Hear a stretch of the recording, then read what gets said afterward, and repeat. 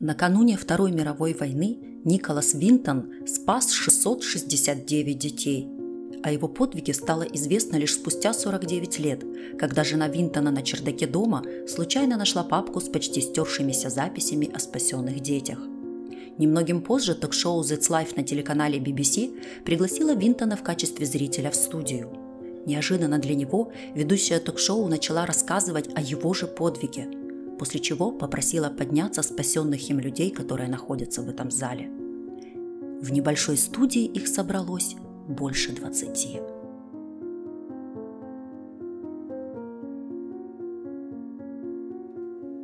А все началось в декабре 1938 года. Николас работал биржевым маклером в Лондоне и собирался отправиться в отпуск покататься на лыжах. Ему позвонил друг Мартин Блейк, работавший в то время в Праге. Блейк попросил Винтона приехать в Прагу, есть, мол, очень важное дело. Лыжи, сказал, можешь не брать. А в Праге и действительно оказалось не до лыж. Приехав туда, Винтон увидел огромные лагеря беженцев. Увиденное было настолько ужасным, что Николас остался в Праге и практически в одиночку создал программу по вывозу детей еврейского происхождения из Чехословакии в Великобританию. В гостиничном номере он устроил нечто вроде офиса. Туда приходили отчаявшиеся спасти своих детей родители, готовые отдать их чужим людям, расстаться с ними навсегда, лишь бы спасти им жизнь. Николас записывал имена детей, собирал их фотографии, выстраивал в голове способы вывоза детей. В начале 1939 года он оставил вместо себя двоих друзей и вернулся в Лондон. Там Николас и еще несколько добровольцев назвали себя Британским комитетом по делам беженцев из Чехословакии детское отделение, и от имени этого комитета Винтон взялся за лихорадочные поиски приемных семей и денег. Сотни семей согласились перенять детей, многие сжертвовали деньги. Также он обратился в Министерство внутренних дел Великобритании, чтобы детям оформили въездные визы. Но чиновники с ответом медлили, а время очень поджимало, поэтому визы пришлось подделать. И 14 марта 1939 года первый поезд с детьми покинул Прагу.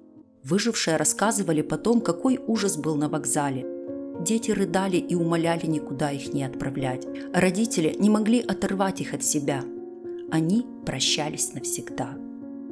Николас Винтон и его товарищи организовали 8 таких поездов, но только 7 из них сумели доехать до безопасного Лондона. Восьмой поезд, поезд с самой большой группой детей в 250 человек, должен был выехать из Праги 1 сентября 1939 года, но в этот день границы закрыли. Николас Винтон позднее вспоминал. Никого из 250 детей, которые должны были тогда уехать, позднее найти так и не удалось. 250 приемных родителей напрасно ждали их тогда целый день на вокзале в Ливерпуле. Всего лишь днем раньше поезд бы проехал. Это одно из самых тяжелых моих воспоминаний. 1 сентября 2009 года, ровно через 70 лет с того момента, когда из Праги так и не уехал последний из поездов Винтона, с центрального вокзала Праги в Лондон отправился мемориальный состав.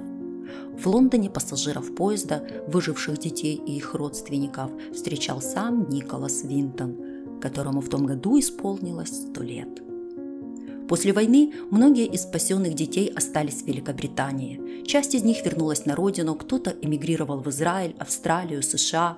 Сегодня этим спасенным детям 80-90 лет. У них есть свои дети, внуки, правнуки, и все они называют себя детьми Уинтона. Среди них есть педиатры, режиссеры, правозащитники, физики, астрономы, нобелевские лауреаты. В 90-е годы одна из эвакуированных девочек к тому времени уже ставшая бабушкой, подарила сэру Николасу кольцо с выгравированным на нем изречением. «Спасая одну жизнь, ты спасаешь весь мир».